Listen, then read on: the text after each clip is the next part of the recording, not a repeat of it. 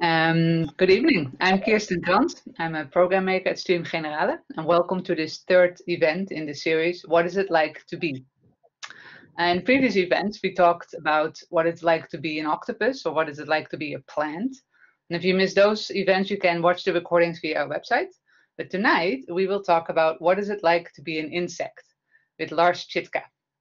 And Lars Chittka is a professor of sensory and behavioral uh, ecology at Queen Mary University of London. And he's well known for his work on the evolution of sensory systems and cognition, using insect-flower interactions as a model. And I think especially with bees, if I'm not if I'm not mistaken. And Lars sent us three questions related to what it's like to be an insect. And starting with, can insect imagine things? And do insects have emotions? And can insects appreciate the outcomes of their actions? I find it all very interesting question. and for each question, he prepared a video of around 15 minutes, after which there's time for discussion and questions you would like to ask uh, Lars personally. And so in total, we have roughly about 30 minutes per question. So if you have a question for Lars, then please write it in the in the chat. Uh, it's in the right hand corner in the purple little arrow thing. You can uh, open it. Um, and I will pick questions from the chat and I will ask uh, the person who can ask their question to please unmute yourself and um, turn on your camera so you can ask your question personally to Lars. Please don't use the, the raise hand function. Um, and also if you want to prevent getting all these notifications of people coming in and out of the session or the questions, uh, you can turn all these off under my settings, also by the purple little arrow thing. Um, and if you have any technical difficulties, my colleague Kylie is also available. Um, so you can find her in the chat too, and you can ask her questions. Um, but now we'll hand over the floor to Lars. Lars, please. All right. Well, thank you very much for your very kind invitation and the introduction. I'm, I'm kind of happy that I did send you video links because we seem to have some problems with electricity here. So hopefully I'll stay online during the entire presentation, but if I suddenly disappear, then it's uh, it's not that I'm being rude. It's, uh, it's we won't take it personally. so hopefully it will all work.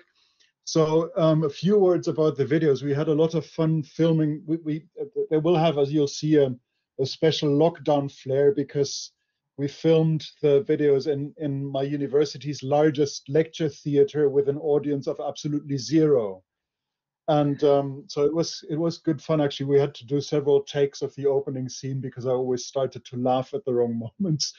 So um, anyway without further ado i guess um, you've been given the, the, the video link so we can start with um, the first one and i look forward to your questions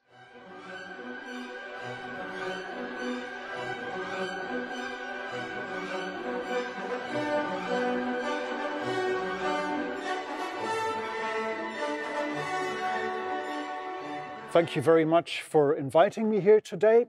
So what I'd like to explore today is whether from what we know about bee spatial cognition, we can make inferences about the question of whether bees or other insects are conscious.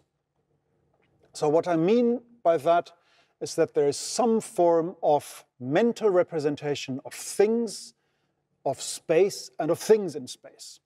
I also want to explore whether bees in the context of spatial cognition have an appreciation of the outcomes of their own actions and their spatial problem-solving tasks, and whether there might be emotional states that are linked to spatial settings. There are in a bee's flight range often dozens of different flower species, all differing in terms of nectar contents, in terms of pollen offerings, in terms of their spatial aggregation, the locations, the techniques that bees need to use to manipulate flowers and so on. So bees not only need to remember where their hive is, where these flowers are, but also which flowers are, um, have the best food offerings and how to get to these flowers and extract the food offerings. So bees need to be careful shoppers in the flower supermarket in the same kind of way as human shopper, shoppers need to um, compare prices and quality of products and so on. Now, it's been known early on that bees can remember multiple locations from which to forage at different times of day.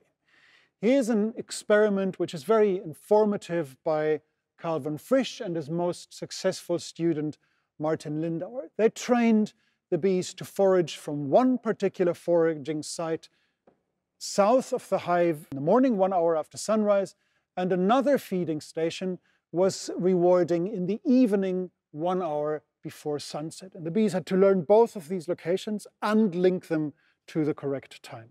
Okay, so when bees communicate about the, these two locations or others that they might have discovered, they use a symbolic communication system called the dance language. So what you observe in the darkness of the hive is that certain workers will display this repetitive figure eight shaped run that you see here in the middle. Now, the central straight path of the bee taken is the most informative bit. The longer that path is, or the longer um, the duration of this um, little walk in the middle, the further away is the food. There is also a code of direction in this language.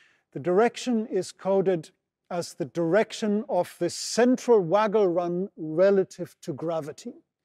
If the bee dances straight up, as in this example, that tells other bees where in that the that the food source is directly in the direction of the sun.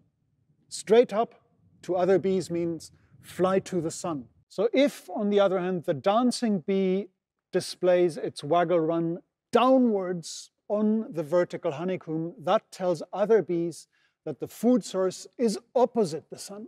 So up means fly to the sun, down pointing, the waggle run pointing straight down means to other bees fly away from the sun, exactly 180 degrees from where the sun currently is. And finally, um, any kind of angle, of course, can be coded in this kind of way. So in this case, the waggle run is displayed from left to right, and that tells other bees fly 90 degrees to the right of the sun, wherever the sun currently is. Or you can, as in this image, 45 degrees to the right of the sun, you would, as you can see in the top left image, display a dance waggle run that's 45 degrees to the right of gravity. So the angle relative to gravity inside the hive means to other bees, once they've uh, absorbed the information and decoded it, means to other bees that same angle relative to the sun when you're outside the hive. And so to remind you again of the original two feeding stations experiment, there was a morning feeding station available just after sunrise and an evening feeding station just um, before sunset. And bees learned to memorize both of these in a time-linked manner. Now here we can see a bee's dances over the course of the day. So on the x-axis we have the time of the day from zero through noon through midnight. And of course the sun's course um, changes over the, the time period. So the position, the angular position of the sun is in the azimuth um, curve that you can see diagonally across the screen. And we can see the bees' dances. And during the um, morning hour, when this feeder was active, all the bees' dances correctly indicated the right position, um, the, the southerly position relative to the sun's position. So that's all of these dances here, correct location indicated. And in the afternoon, all the um, dances pointed in the correct afternoon position, which was east of the hive. So far, so good. So that simply shows that the bees, during the times that the feeder was active, would actually indicate the correct positions. But remarkably, Martin Lindauer peered into the hive on some nights and observed that some bees will display these dances in the complete absence of a natural foraging situation. No bees fly out at night. They just stay inside the hive. So there's no natural need to communicate about food sources at all. And remarkably, those bees that displayed dances in the period from sunset to midnight would approximately, albeit with some error, indicate correctly the afternoon location. So that's these dancers over here.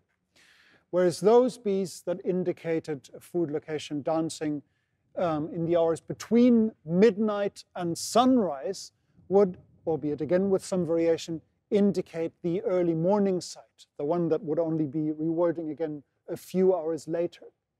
So these bees, in the complete absence of current stimulation from these food sources, they hadn't recently visited them, retrieved the correct coordinates in the correct time affiliated manner so that early morning bees would indicate the later morning location and late night bees would indicate the afternoon locations correctly. So there was a kind of access to a spatial memory outside the context of which, which it naturally occurs, which indicates to me at least that there is a kind of flexible access to these spatial memories that bees could just think about, so a form of offline thinking about spatial locations. So the technology that we're using nowadays to study bee orientation is called harmonic radar, which is a huge advantage over what von Frisch and Lindauer would have had at their disposition because we can actually track bees over their entire flights and over their entire lives. So the technology works by um, one radar dish emitting a signal that is picked up by a bee's transponder. You can see this little antenna-shaped device glued on the bee's back. It looks huge, but it's actually very lightweight, so it doesn't disturb the bee. But what we can also do with this technology is follow bees over their entire lifetimes, from their maiden flight, the very first time they ever leave the hive, to their death, basically. And all the spatial movements in between can be fully monitored with this technology. So what we see here are two flights, one marked in green, the very first flight of that bee, which in this case lasted about two hours, and a very short um, second one, which is marked here in red. And this exploration flight, that very first flight of that bee, you can see takes it in loops centered on the hive, which is marked in blue, in various directions. So there's one large loop in the easterly direction, there's another one in the northeasterly direction and so on. So most of these loops actually are in different directions. She doesn't repeat her exploration. She returns to the vicinity of the hive several times and then flies out again and explores more. And in, in, in such exploration flights, bees learn both about their the landmarks surrounding their hives as well as about potential feeding locations.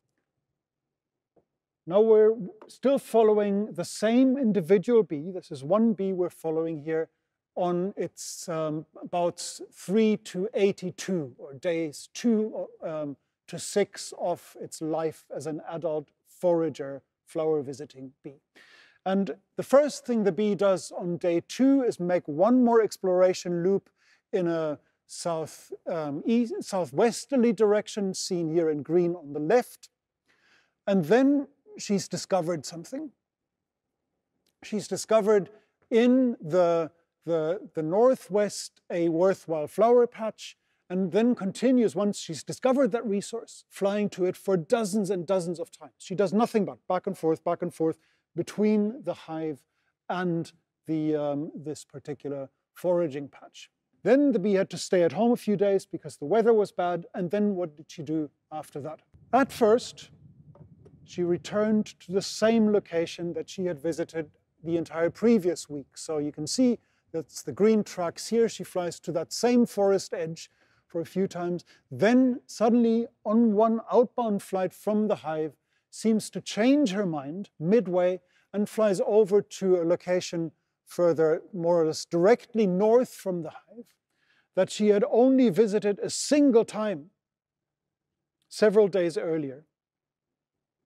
In fact, 10 days earlier. So on day one, she'd been there once. And then she flies directly there and dedicates all the rest of her foraging life to that other patch that she's only seen um, during a single exploration flight. Now that's, in a sense, anecdotal data. It's just a single bee that behaved in this way. But I think the observation that that bee appeared to change his mind, its mind, her mind, to um, fly to a location that she had visited way back appears to me just like Lindauer's nocturnal dancing bees observations that there is a kind of flexible access to spatial memory that can be retrieved um, when it's adaptive, perhaps because the familiar foraging patch in this case was no longer as profitable as before. Okay, so our next question is, can bees picture things? Can they imagine things such as a flower's shape and so on? Now bees are of course famously good at recognizing flower patterns, but it's actually surprisingly difficult to find out whether there is such a thing as a mental representation of a flower, even if an insect recognizes it, because often it turns out it can be that flower patterns can be recognized with simple feature detectors that analyze edge orientation and so on. So in our following experiment, we asked if bees can actually draw on a representation of a particular shape through multiple different sensory modalities, which would be more of an indication of a mental representation of shape than just recognizing a shape in the visual modality. So what we did initially is we trained the bees to distinguish two different shapes, balls and cubes, but in this case they could not touch them. They could only see them through a plexiglass lid, and one of the shapes, in this case the ball, was associated with reward. That means a little reward of sugar, sugar solution, and the other, in this case the cubes, was not. And then the same bees that were trained in this manner were now presented with the same shapes in complete darkness, where they couldn't see at all, but in this case, they were allowed to touch these different shapes. And in this case, when the bees had first been trained to see and be rewarded over balls that, however, they could not touch in the light, then if the same bees were tested in complete darkness, then they chose the balls over the cubes only using the touch modality. So, so they could recognize the same object in a different sensory modality.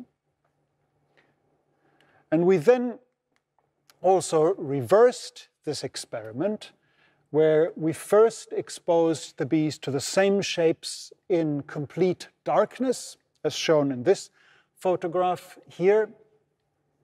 We used infrared light, of course, to monitor the bee's behavior.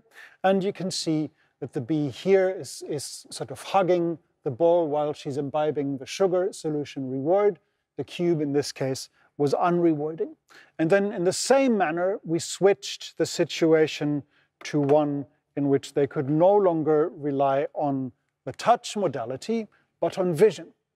However, again, in this particular experiment, the bees could not touch the shapes as they had during training, but only see them.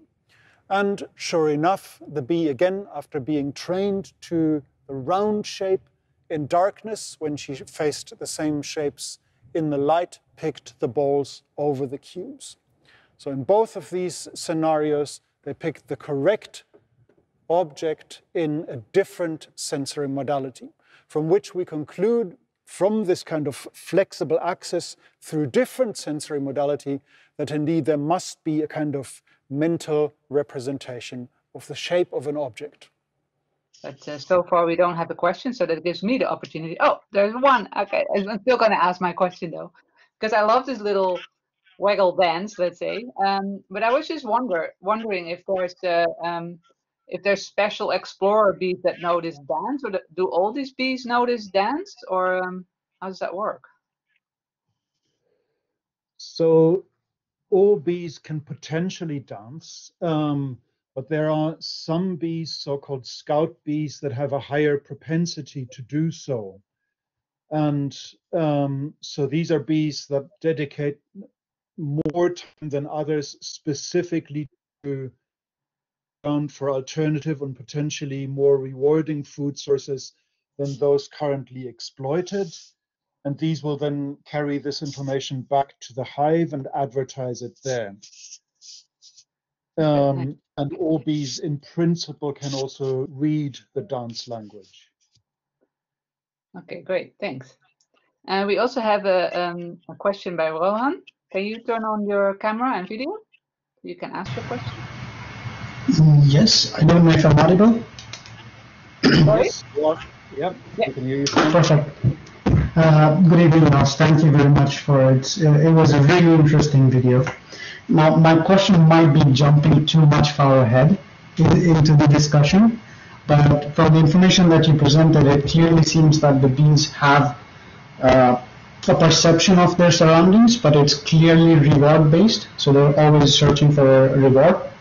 But in any way, do we can we extend that to the bees or insects having a perception of reality like humans do? That we see a flower for the beauty of it, which doesn't have any physical reward, but has a mental reward. Okay, that's a very good question. Now, it is very difficult to know um, what any animals, including other humans, mental um, phenomena are in relation with things that are just perceived as beautiful by themselves.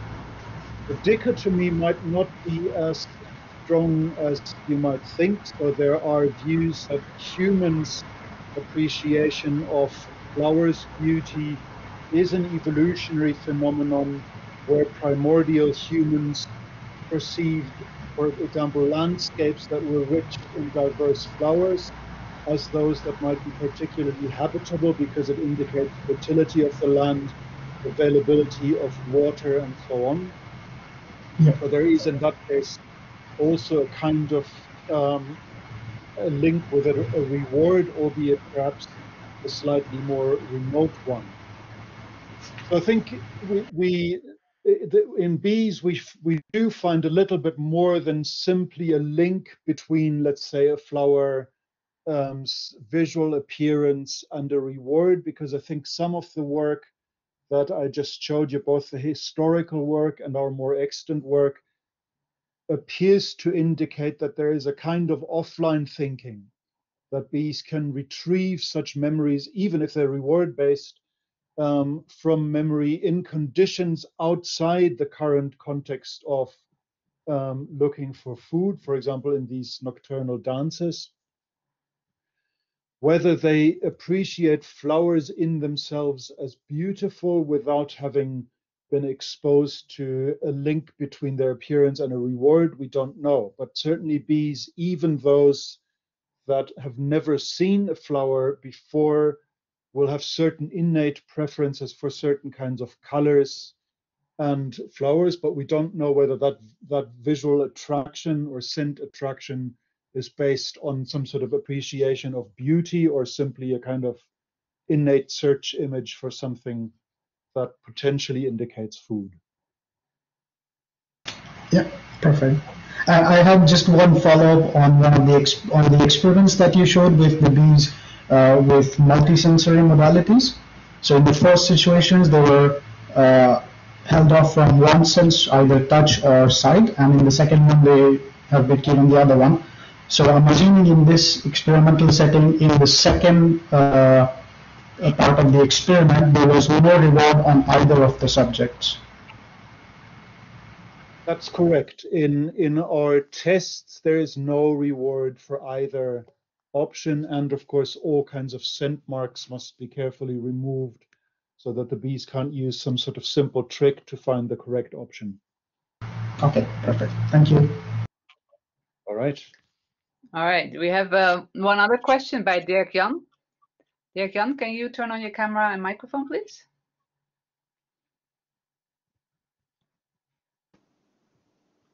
Well, if it's difficult, we can, I can read the question yeah, I, back. I, I think it, uh, it always takes a bit because the, they need permission and you need to give permission for your video. So I think he's coming. Okay. I see his little microphone All already right. on. Dirk Jan, are All you right. there? Yes, I'm there and I'm trying to get my video on. Yes. it should be on. Hello. Hello. Yes. Ah, there you are. Thank you very mm-hmm. much for a very kind uh, presentation. for the first question. Um, is there a possibility that there i- that bees recognize the smell of flowers and that they use that if in a certain lot the smell gets less and in another lot the smells get better that they change Yes. Um, so smell, just like color or visual patterns, are memorized by bees in association with rewards. But again, there's very interesting work that they can also use scent information in an offline manner. So work from Mandiyam Srinivasan's team has indicated that if bees associate two different locations with a different scent each, that if he would then subsequently blow one of, of the two scents into the hive, the bees would correctly retrieve from memory the correct location and then fly to that location if it was presented in the hive, meaning in spatial and temporal removal from where it is normally presented. So they could retrieve the correct spatial memory from smelling the right scent. Is there something known about the smells they the, the molecules they the pheromones they they they smell? And uh, then you- Yes, um, then you can take so there, there are an air sample and see whether that that fits with the change of location. Yes, so there is quite a bit known about um, bees' sense of smell, and there are similarities as well as differences. So there are certain smells that bees can smell which we cannot smell at all. For example, CO2. Many insects can smell CO2, and I think that highlights just how different um, senses, sensory systems extract information from the world around us. I have if I try to imagine what CO2 might smell like, I draw a blank. But clearly, certain certain animals can do so. And yes, you can, if you wanted to do a neurobiological investigation, you can blow um, various scents over a bee's antenna. So the antenna is the the insect's nose, so to speak, and then directly link um, the smells and their their concentrations with um, neurobiological responses from the receptors in the antenna. uh, uh, is the the spatial resolution between the antennas high enough to orient or is it something like in bacteria that during they go they they see or they trace less or more gradient of the the scent and thereby orient themselves on the new scent It depends on the spatial scale. So, if a bee is, for example, on a flower, they're very good at um, at, uh, at comparing the scent from the two different antenna and orienting their bodies accordingly, because often there are scent gradients inside flowers. But during free flight, when they cover a few meters per second, of course, the resolution isn't good enough to um, to orient in a in a gradient. So then there is a, a side-to-side um, oscillation in many insects to to figure out the the um, direction that a scent might be blowing. All right, we have uh, we have one more question before we uh, move on to the next question from you, Lars. All right. Uh, Augusto, can you turn on your microphone and video, please? And ask your question. Let's see if he. Uh... No, I think he left. So there is Uh, a, a question there's, about There's one other one, yeah, from Martin. Do you see it? Martin, uh, can you turn on your um, camera? Yeah, there we go. Then you have the last question. I'm in luck. yes. Uh, all right. So yeah, I wonder, uh, do bees only communicate the um, positionality of food sources, like we saw in the video, or, or do these social bees also have the possibility of communicating other kinds of information that might be relevant, such as the the, the smell or the, the the color or the size, uh, uh, or what type of food source, trees or flowers or Uh-huh. Um, so the, the, the language is not as flexible as human language in that it can't um, convey arbitrary bits of information. It's not adaptable to new things that are novel in a bee's world, for example. But there are a few other bits of information. The scent, for example, is passed on to other bees, but simply because the foraging bee brings it back to the hive. She smells of the flowers that she's visited, and also the nectar that she's brought is regurgitated during the dance and offered as samples to other bees so they can memorize the scent and they go out equipped with that information. But there's no information about color. There are also certain other signals. So, for example, if bees have encountered um, a, a threat, a predator at a previously popular location, then bees um, coming back from that location will will essentially headbutt other dancing bees, indicating that location as a stop signal, basically saying, guys, don't go there anymore. So there, there are certain other bits of information that can also be passed on, but not others, and not arbitrary contents as in human language.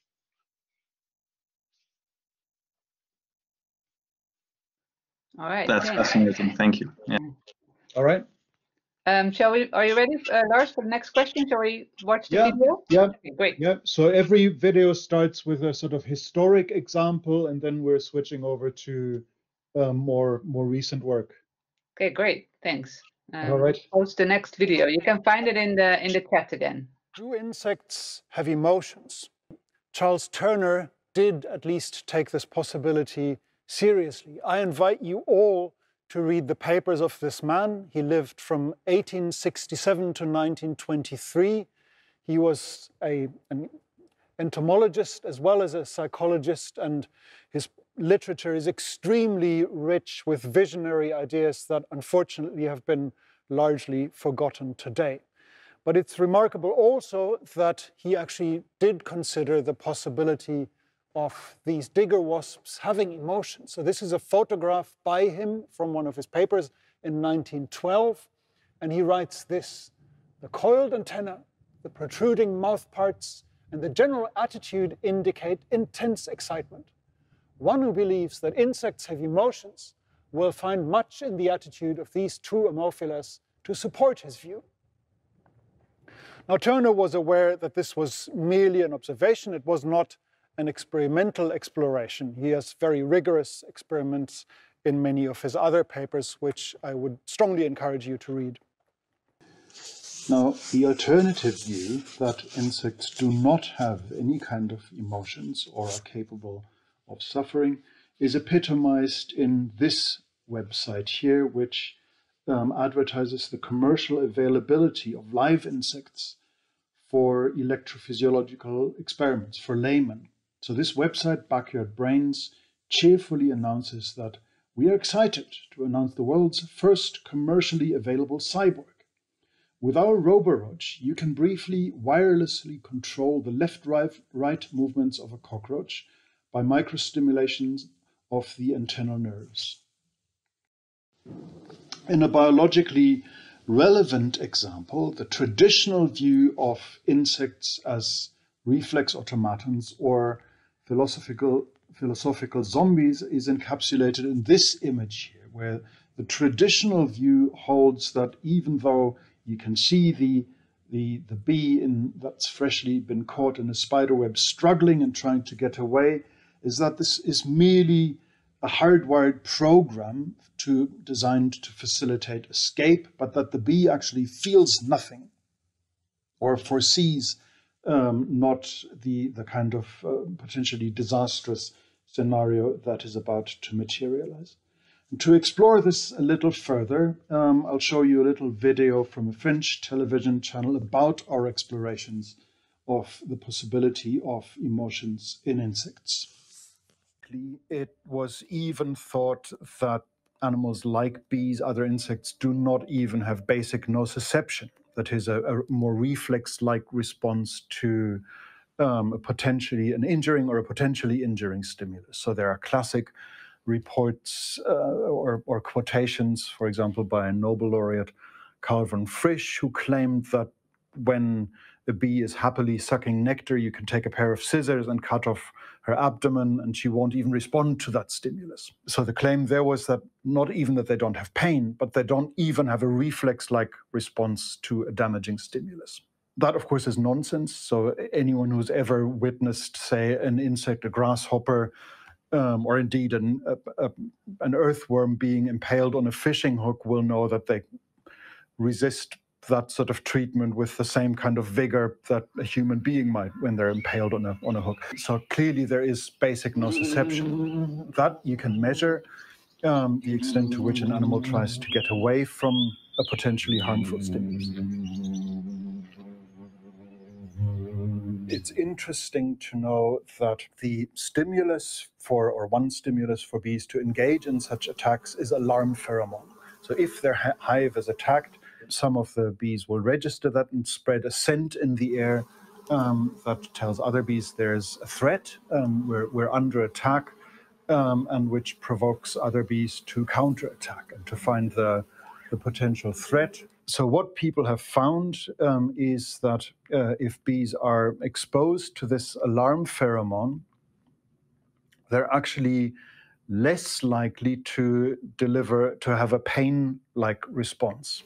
So they seem to be flooding their system with an endogenous painkiller as a result of smelling the alarm pheromone, which of course is indicative that there is some sort of awareness of a threat of injury, but that this um, awareness and the potential um, fear associated with it is ameliorated by an endogenous substance um, that functions as a painkiller.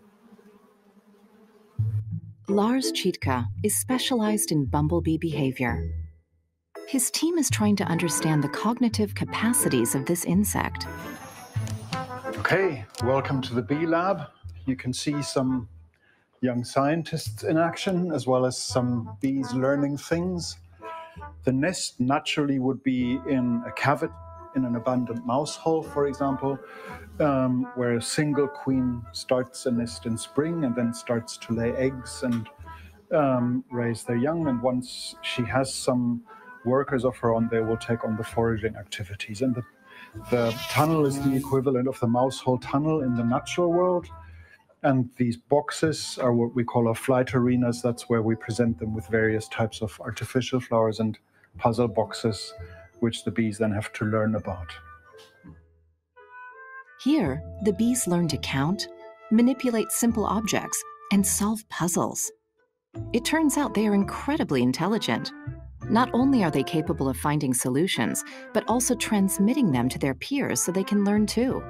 During one of their scientific studies, the team made an astonishing finding. So we began um, becoming interested in the subject in a study where we exposed bees to simulated spider attacks. So the prediction for a reflex like robotic um, insect pollinator would be okay, if they get attacked by a spider, then of course they register that attack and try to get away, but that ends there. But what we found instead was an indication that the bee's whole behavior changed after such a crab spider attack in that they don't didn't just fly away from the flower but they would then subsequently um, fly more slowly and inspect every flower very carefully before landing on the flowers. And this behavior change lasted for more than 24 hours after an attack. So there was a long lasting behavior change. But moreover, they didn't just inspect the flowers for longer, but they also behaved as if they were seeing ghosts. So often they inspected the flower, and even if there was no crab spider hidden on it, they'd fly away again, as if they thought, oh, uh, this doesn't look quite safe. And that was already an indication of there being long lasting behavior changes as a result of a scary experience, which is more equivalent to an emotion like state in vertebrates or humans. Um, than the predictions that would arise from just a reflex like robotic um, behavior. There's no way to judge emotions objectively, even in other humans. So all we can do is measure a variety of observable behavioral responses that would be indicative of emotional states in us, but the, the, the, judgment is always an indirect one. But the more evidence we can accumulate from both psychology and behavior, as well as physiology, neural stages, hormonal stages, um, then of course the more comprehensive a picture we get on the potential emotion like states. But how might one test emotions in insects experimentally and quantitatively? Well, we chose to use a paradigm that is simply borrowed from vertebrate research. It is basically asking whether an animal's or an individual's glass is half full or half empty, as symbolized in this little um, photograph here. So an optimist would judge this ambiguous situation as being glass half full, and the pessimist, faced with exactly the same situation, would say it is half empty.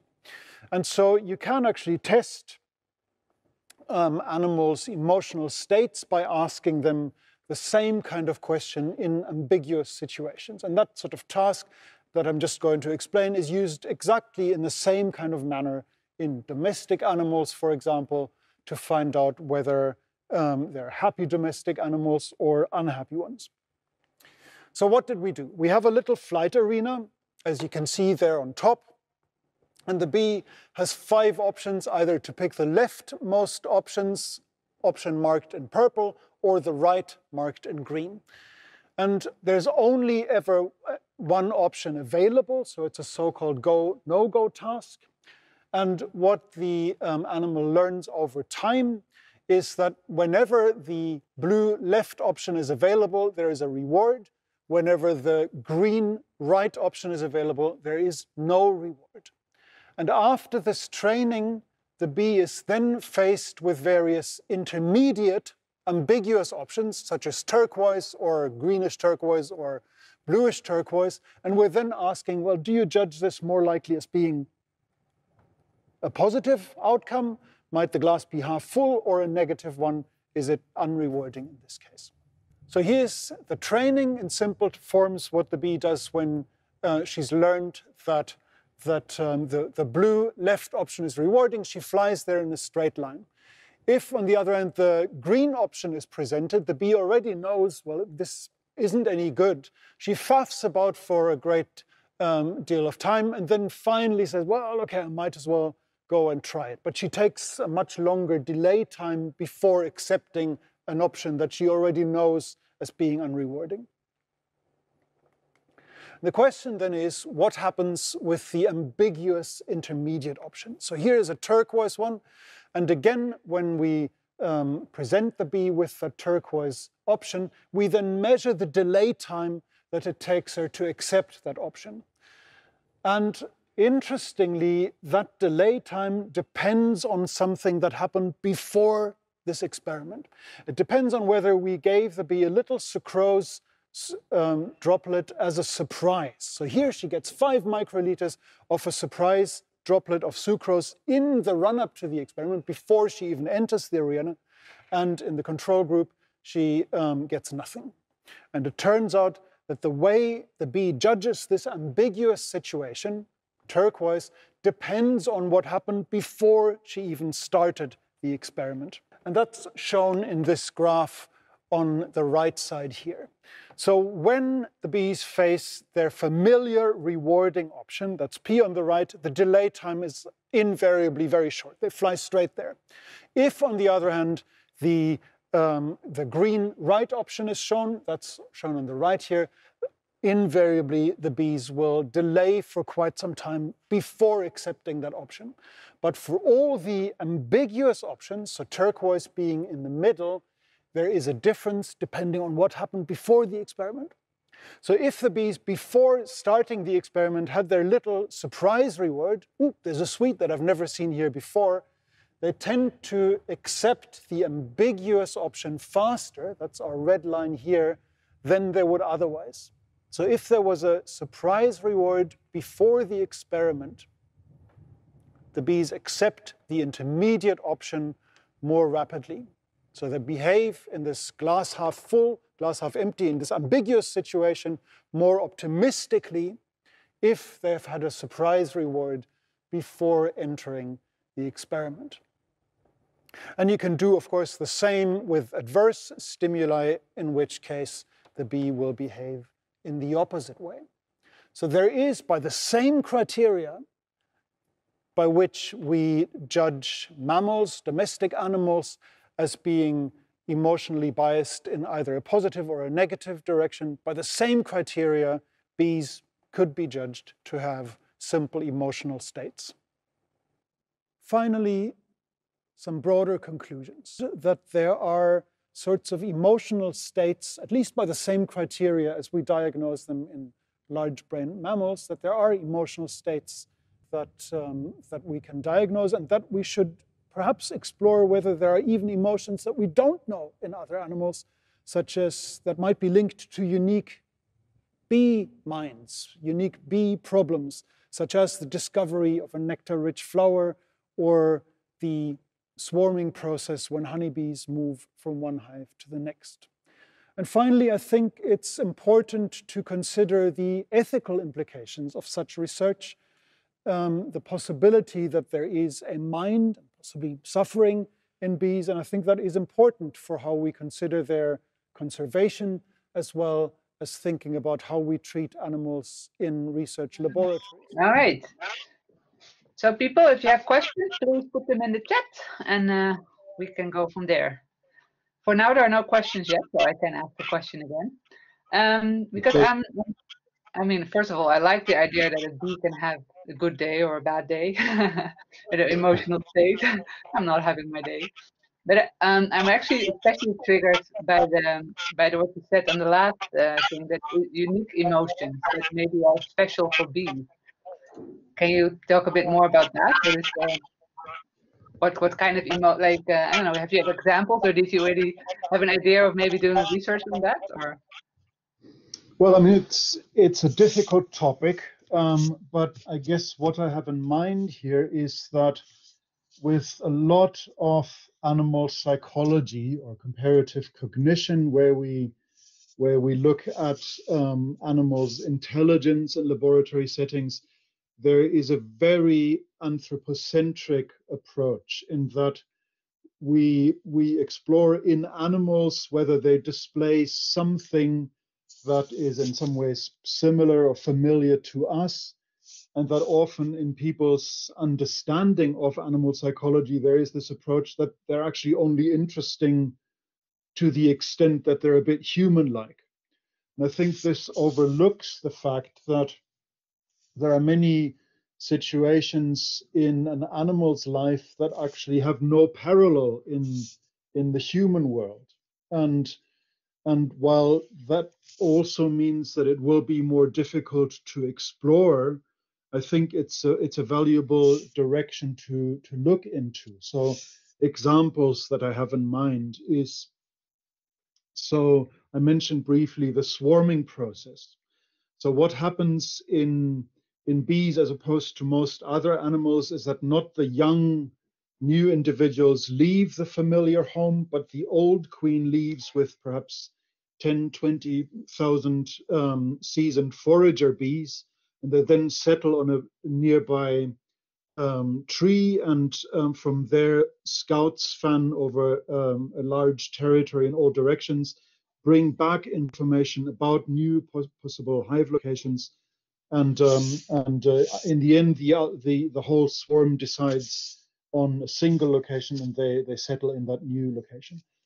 And the, the psychology of that, or the the the um, process by which that happens, is is is one thing, but there are possible.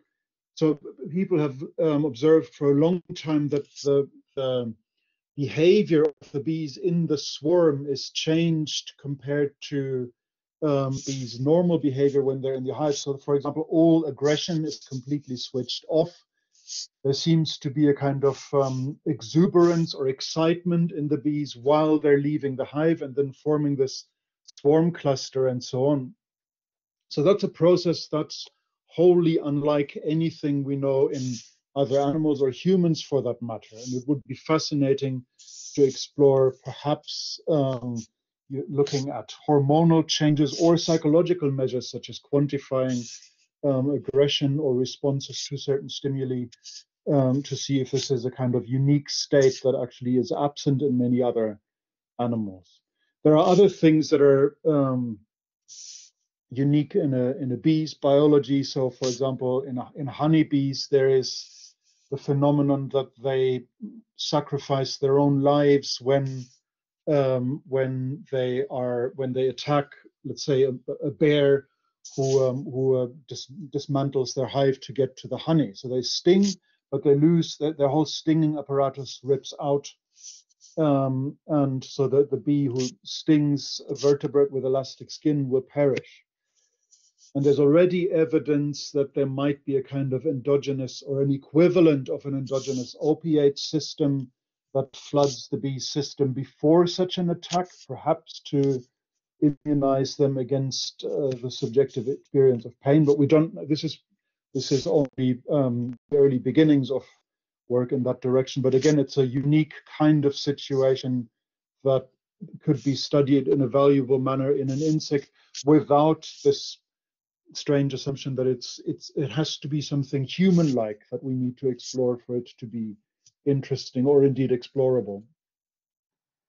Yeah, no, it's true, and but I think it's also you know harder to imagine if it's not human-like. So that's why you know like because how do you even start to yeah, so what it's like to be a bee, of course, but to start to imagine things that we don't even have in our own, uh, you know, in our own sort of doing.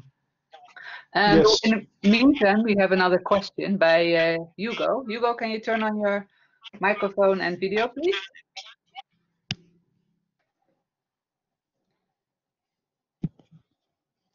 Um, yes, can you hear me and see me? We can hear you. We can hear yep. you. We cannot see you, we can hear you. Yeah, that's good. uh, you should I don't know why. That's fine. It's fine. Ah, there you okay. go. All right. Oh, okay, thanks. Well, uh, really, really interesting talk. Uh, I don't know know anything about bees, but this idea uh, of uh, bees' unique emotion is really fascinating for me from the neuroscientific point of view. So I was wondering, uh, how does the, the development of these unique uh, bees' emotions may be? That's my first question. And the second one is related to the possibility that maybe I don't know, but maybe across hives there are, let's say, uh, differences uh, on culture. So may these these emotions also vary or relate to those differences across hives? So the, the, the, the first half of your question, I can only speculate um, so we don't, um, while I think it's a valuable direction of research to explore the neurobiological or hormonal or behavioral basis of unique bee emotions, we haven't done that yet. Um, so we've begun exploring the topic of bee emotions with simple emotions such as these pessimistic or optimistic states, but we haven't ventured further yet. Now, on the other hand, yes, there are both genetic and learned differences between different colonies. So in the subsequent um, talk, for example, I briefly mentioned an example where we taught bees to pull strings for reward, and such a such uh, learned information can spread very rapidly through an entire colony. In which case, it's it's so to speak, it's that that colony's private knowledge that other colonies beehives won't have access to. And in the same way, in nature, um, bees could, for example, um, monopolize certain flower resources that are um, distinguished by their scent from other ones, so that one hive might have a, a different specialization to another one that's actually set in the same or largely the same location. Okay, it's, it's really fascinating, and it's food for thought, I, I think. And uh, thanks for your, your answers. Oh, you're very welcome. Thank you. Uh, we also have a, uh, I think Augusto has another question, but his internet's not doing very well. So let's go first to Victor and see if Augusto is back. Victor, can you um, turn on your microphone? Yes, hello. Oh. Yep, we hello? can see and hear you. Yeah. Uh, maybe Lars turn off turn off the microphone while he asks the questions because I think there's some interference with the sound. So we turn off the microphones. I turn on. It's okay. Okay. Um, I I am studying uh, flower flies, uh, Diptera, and uh, they are some some of them are similar to bees, and they have some behavior that is also interesting. And I wonder to know if uh, when they are when when bees are trying to solving some uh, problem, uh, my question is they learn to solve or to use some tools individual, but when are when they are going to solve the problem, then can cooperate with other ones. Uh, but the, the question is, they learn individual, but they can also communicate to another one to teach uh, how to solve and then cooperate to to solve. Or the question is, they learn individual and they can communicate to to other, or you know. Yes, all of this is correct. So um, bees will learn in nature as well as in our laboratory individually which um, flower colors or scents or patterns are associated with rewards. In the case of the honeybees, they can also communicate to other bees the locations of such flowers and pass on the scent in, um, in the hive and during the dances. And um, they can learn to solve certain tasks like puzzle boxes or string pulling by observing how other bees solve these tasks. In terms of cooperation, one of my um, former postdocs, Olli Loukola, um, has, has devised a task where multiple bees together have to um, have to move a block in order to gain access to a reward. So they have to cooperate, and it appears that they actually learn to cooperate as well. But that's as yet unpublished. Okay, very interesting. Thank you. All right. Hmm. All right. We go to the last question of Victor before we then move on to your last question, Lars. Am I in? Yep, I hear you. I hear you. I'm in. Um, I wonder what the effect is of the different developmental programs for the or organisms. Because uh, vertebrates uh, develop by uh, a neural tube. And that means that the nervous system, the central nervous system, uh, is developing, uh, in fact, uh, separated from the peripheral nervous system. So there are two, there are clearly two different systems. And I don't think that the insect has that so it means that uh, the development of our brain is uh, quite different from that of the insect.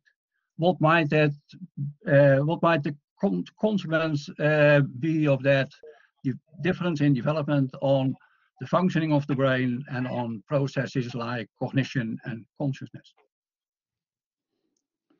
That's a good question and one that could potentially require a very long answer. So there are, of course, many differences as well as similarities between invertebrates and vertebrates nervous systems. So many of the essential building blocks of the nervous system, such as transmitters, um, receptor molecules, um, um, channel molecules, and so on, that are shared between vertebrates and invertebrates but their their nervous systems in many ways are are of course also different. So insects don't have myelinization.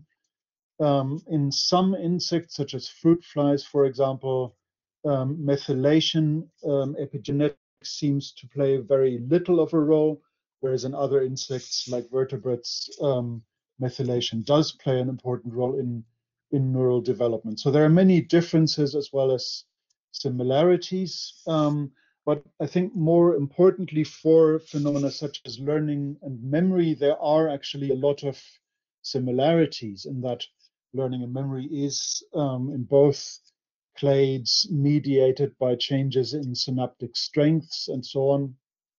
And convergently, many of the similar organizational principles of wiring up a nervous system also occur in both vertebrates as well as invertebrates.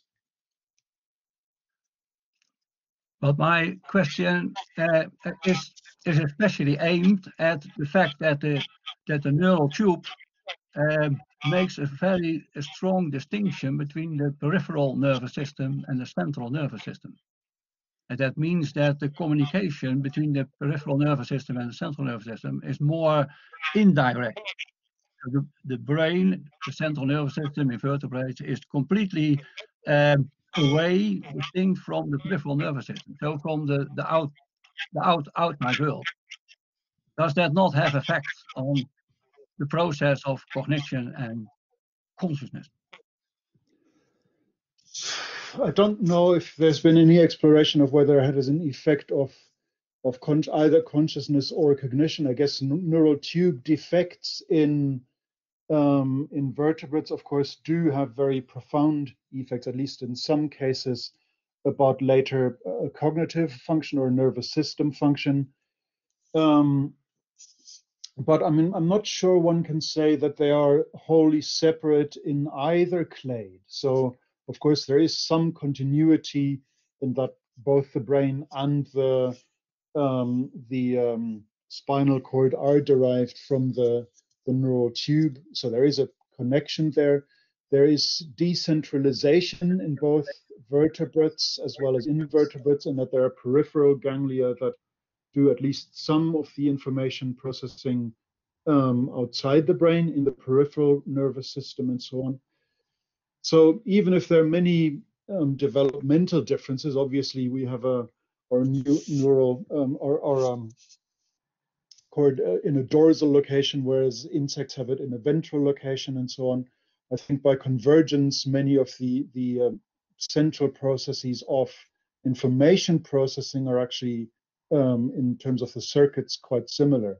But these are differences not in gross neuroanatomy, but in terms of microcircuits in either cortical columns or certain columnar organizations that we also find, say, in the central body of the, the insect brain.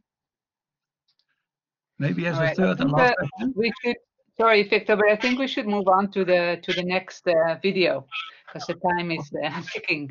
Thank you very much. All right. If there are fewer questions for the next video, then we can come back to this one, yeah. perhaps.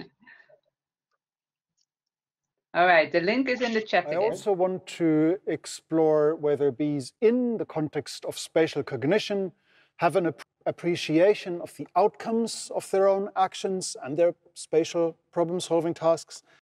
So there is a common perception that while people realize that insects can do very complex things, that they do them by means wholly different from how humans solve them.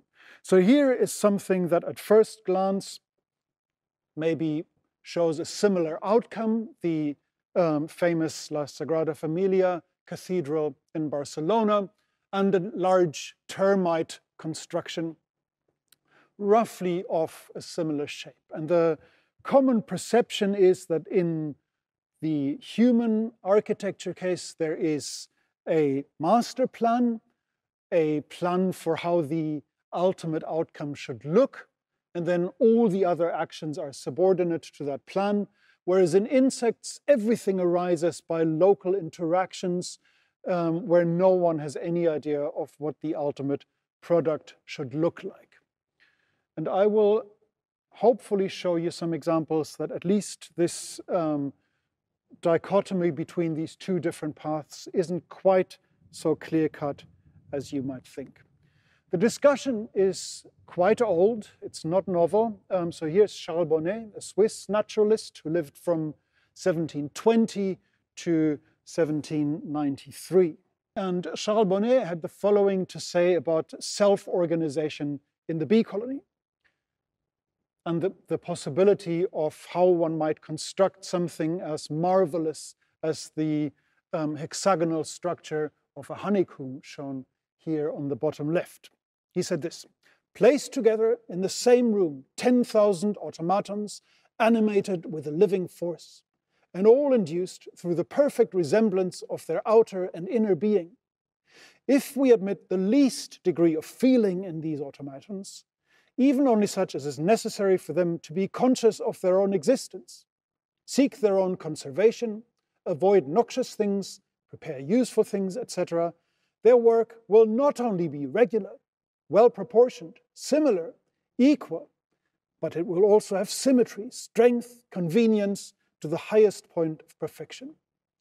So it's interesting here that Bonnet sees the idea of there being a consciousness and feelings sort of as something primitive, as something given, but he still calls them automatons and thinks that somehow by just putting all of these conscious automatons together in the same room, something as magnificent as this honeycomb structure might arise just naturally. Now, I do not think that it's quite so simple. Of course, there have been quite a few crude human experiments in stuffing 10,000 animals together in the same room, as you can see in this chicken battery farm. And for some reason, something as regularly structured as a honeycomb or any form of architecture clearly does not emerge just by itself. So you need a little more than just uh, stuffing lots of animals, perhaps conscious animals, together in the same room to arrive at any form of animal architecture. So many people have mused that there is something remarkable about this extremely regular construction of the honeycomb. You can see a honeycomb under construction. Here there are dozens or hundreds of individuals of bees participating in this process. It's a mathematically perfect solution for honey storage, for brood storage, um, in terms of minimizing materials and space used and so on. It's also double-sided, so on both sides you can store larvae and, and honey and so on. And typically the structure is started at the ceiling of the, the hive and then gradually the bees work their way down until they've reached the bottom. But another Swiss naturalist, François Huber, um, explored the inner workings of the hive centuries ago and made some very surprising discoveries. So he experimented with glass hives to see what the bees might do inside the hive while they're constructing their beautifully regular honeycombs. And what he found was the first thing that if he introduced a glass ceiling into the hive, is that the bees didn't particularly like attaching wax comb to glass. So surprisingly, that didn't perturb them much because they simply then inverted the entire construction process 180 degrees. Instead of working their way downward from the ceiling, they built the whole comb as a tower construction, starting at the bottom and then gradually working their way up until they'd reached the ceiling. Now, it's still a very repetitive process, but if you'd programmed a robot to do exactly the same as the honeybee does, working down along gravity, that robot would already fail at this particular challenge unless you told the robot to be able to invert their procedure uh, in its alignment with gravity. But the next experiment was even more surprising. So Huber, when he discovered this flexibility in bees, then introduced a glass bottom in addition to a glass ceiling. And what he found in that case is that the bees would start on the side wall of the, the hive and extend the comb construction laterally through the cavity that he had provided the bees with. What Huber did next was the really surprising result. While the construction was in process, so the bees had been ha built halfway through the cavity, he then put a glass obstacle in the projected path of the growing honeycomb. Okay, so the bees had already built their two-dimensional construction almost or uh, halfway through that cavity, and then suddenly there was an obstacle that the bees would have perceived, perhaps if they explored further in the linear direction of the growing honeycomb, found that it must have been suboptimal because what happened was that the bees then, before actually reaching the suboptimal surface, would build a 90 degree kink into the comb and attach it to the nearest sidewall. So they avoided projecting from the geometry of the current um, construction that there might be uh, a suboptimal outcome several days down the line. It takes a long while to build honeycomb. They projected and anticipated, or seemed to have anticipated, this suboptimal outcome and took uh, corrective action before it materialized and um, built this strange curved construction. And Huber, 200 years ago, um, said, I acknowledge that I could not suppress a sentiment of admiration for an action in which the brightest foresight was displayed. So these um, experiments await replication with um, modern acceptable sample sizes, but they're nonetheless very interesting in part because they were not actually designed to explore foresight. It was a surprise discovery, and that is, I think, very informative. So Huber thought that bees have a kind of master plan, an idea of what the desirable outcome of their comb construction might be like. When I talked to colleagues who work on cognition in primates and corvid birds, they were always a bit dismissive of bees' learning abilities. I told them about how bees can learn colors of flowers and scents and so on. And they said, well, that's what bees do every day in visiting flowers. It's not any evidence for intelligence. And so they were at the time working in on things like string pulling tasks in corvid birds, for example. And at some point, just to be provocative in a lab meeting, I said, well, I bet our bees can solve such a string pulling puzzle. And no one quite believed it. But I had a few um, bold postdocs in my lab who were willing to give it a go. And so what you can see in this slide is a task uh, is a string pulling task in which there are three artificial flowers, each uh, connected to a string and with a central nectar well that a bee would have to get to in order to obtain a reward. And what you can see in this video is the first bee that we ever trained to solve such a task. Here she is landing, and now she's found the string and she's pulling it out. She's not landing on the top of the flower. She clearly is is not necessarily efficient at it, but she knows what she's doing and that she has to pull that string and, um, and remove it from under the glass table to get an access to a reward. For the next experiment, the task is to move the ball, in this case from the periphery to the center of this horizontal area. And once the ball arrives in the center, the bee gets a sugar reward. So they can be trained to do that just fine. But the reason why the social learning by observation in this task is so particularly remarkable is this. So what we can see in this slide um, is a task with two bumblebees. Here is an experienced bee that has already solved the task before. That's our so-called demonstrator. And then there's an observer, which has never solved that task before, so she's entirely naive. And when the two bees get together, this is what happens. If you, um, so you can see here the experience bee rolling the ball to the center, and then they both get a little sugar droplet as a reward. Now, obviously, the logical way to solve this task, if all you need to do is to get a ball into the center, would be to pick the closest ball um, that's closest to the target area and move that to um, the center. But we've played a little trick. The experienced bee, the one that you've just seen roll the ball into the center, actually knows that the two closest balls, this one and that one, cannot be moved because they're glued down. So that bee knows I have to pick the furthest ball, so the least optimal one to move to the target area. And so for three times, the naive observer gets to see that. It gets to see the, the demonstrator bee use the furthest ball, moving it into the central target area. So what we see in this slide now is the observer being alone. This observer has seen the demonstrator solve the task three times, and every time the demonstrator used the furthest ball. Now the observer is on her own. Will she pick the same furthest ball or will she solve the task in a better way and pick the closest ball? And she picks the closest ball. So she's not simply copying the demonstrator exactly. She actually seems to have a form of understanding of what is the desired outcome of her actions.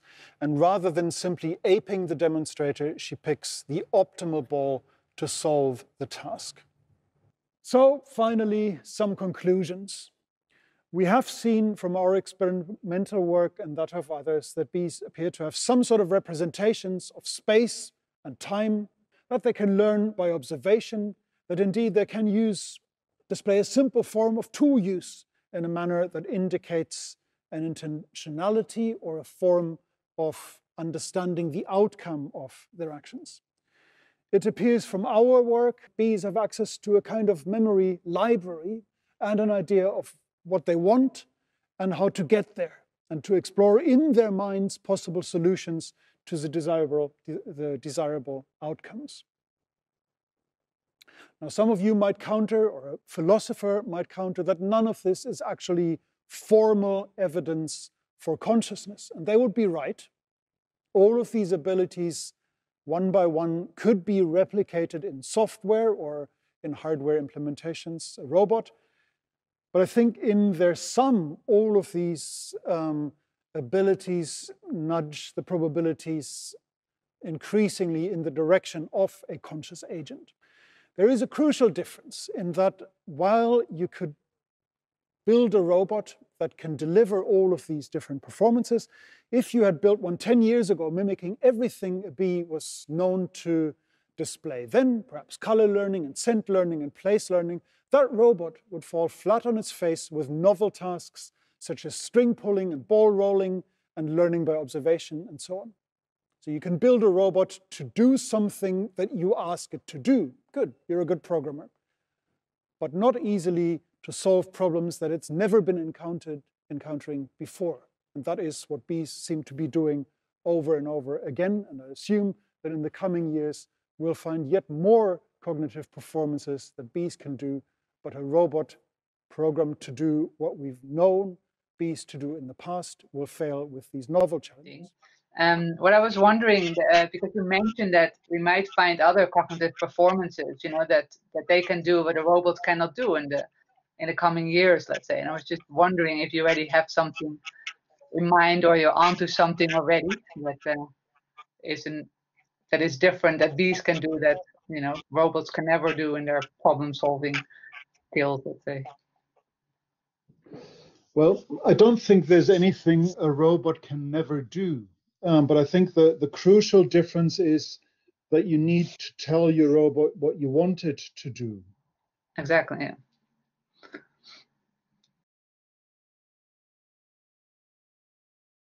had you built, let's say, a robotic bee 10 years ago, that, that was that in which you implemented everything a bee was known to do until that time. That would probably be challenging, but it would be possible. But that robot would then fail with any kind of novel challenge that until that time was not known. So I mean, we do various things in in the lab um, right now that I suspect again. So one example from my PhD student Alice Bridges is that she builds puzzle boxes that require a multiple step. Um, so there are multiple steps of actions that the bees need to take to open these boxes to get access to a reward. It's not just a single step, but it's um, more than one step. Um, and again, I think um, this would be a trivial challenge for a robot if you built a robot with the instruction of how to do it. But if you had just built a robot that was able to, let's say, string pull or ball roll to a target, it would again um, fail at this this kind of novel challenge, and that I think is the difference. All right. Is that there, there clearly is a kind of flexibility in in the bee to solve yet more and more tasks that until rel relatively recently we we would have thought to be the, the the domain of much larger brain insects. And that's not just work from from our team but also from Martin Giurfa and colleagues and so on. Um, but but that uh, that if you wanted to implement them into any kind of robotic device, you'd have to do so. You, you couldn't build that flexibility into a robot so easily. Mm -hmm. Yeah, exactly. And this, yeah, okay. Thank you. um, let's move on to Elizabeth. Elizabeth, can you turn on your camera and, and uh, video, please?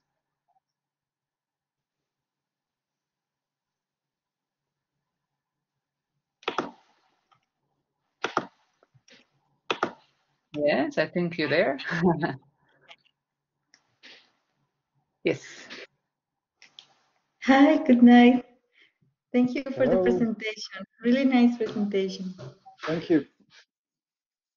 And I have one question, and this is about the, the consciousness of, of the bees, and if maybe there's any evidence of where some chemicals like pesticides maybe can regulate the behavior or the social behavior or the making decision in the bee. By the chemicals, I saw in your chat that you meant things like pesticides. Exactly. Yes. When, for yeah. example, the exposure to this type of chemicals can affect the, the social behavior.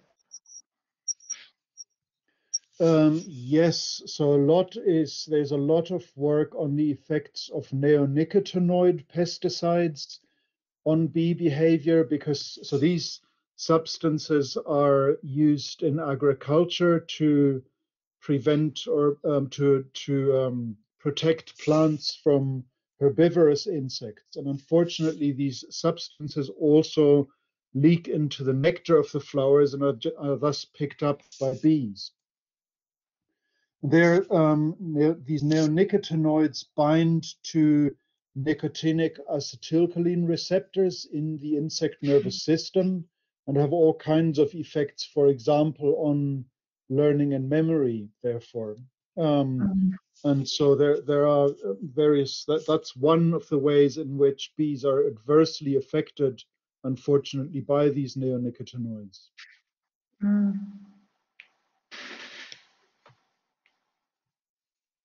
Does that answer your question? Yes, thank you. I'm just curious. I have no idea about flies. okay. All right. Um, all right. We have another question from Victor.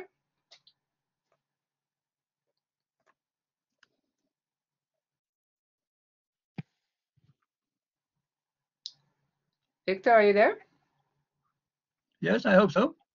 Ah, yes, oh, now we hear you. Yeah. Okay, yes, I'm in. Okay, um, well, I have a question about consciousness.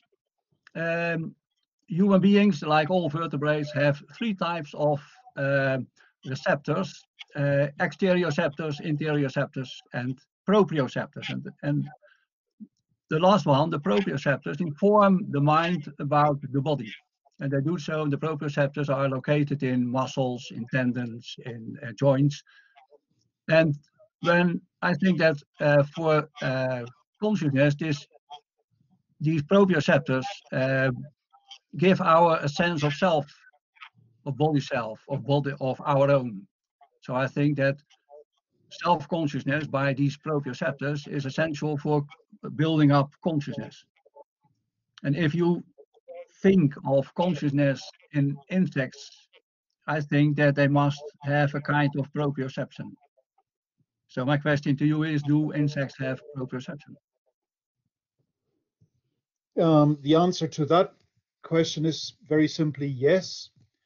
Um, and, and you're right that while the demonstration of having proprioceptors is not necessarily evidence of consciousness, but it is one requirement. Um, I don't know to what extent you were told about this in Peter Godfrey Smith's um, lecture a few weeks ago, but he makes the very credible point that that, for example, in order to make any kind of sense of the information that is coming from your sensory system um, as a moving animal and to disentangle input, changes of input that are the result of your own actions versus those coming from the internal world, you need to make sure which is self generated change or externally um, generated change. So to, to, distinguish self from other in terms of the, the sensory input. So for example, if um, I suddenly tilt my head to one side by 45 degrees, then in itself that's fairly undramatic, even though of course the entire image on my retina has shifted 45 degrees. If I haven't tilted my head, then the evidence is that I'm in the middle of an earthquake if the entire scenery around me shifts by 45 degrees.